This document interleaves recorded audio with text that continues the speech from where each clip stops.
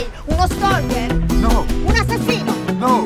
If you don't agree, I want to kill.